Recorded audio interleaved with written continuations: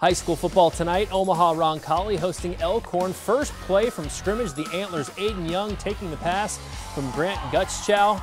Young doing the rest, 65 yards on the touchdown, 7 zip Elkhorn. Later in the first, more from the Antlers.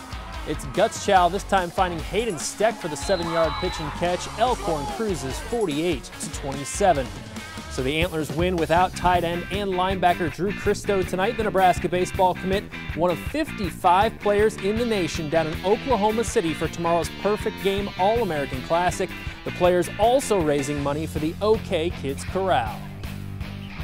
We partner with the pediatric cancer patients um, at that facility, and so we buddy up with them. Um, we each have our own uh, donation page where we try and raise money for these kids because the stuff that they're going through at such a young age, it's just it's more than anyone should ever have to go through in their life. So um, we kind of buddy up with them throughout the week. That donation piece is a big part of it, raising money for their foundation so they can hopefully get the treatment that they need.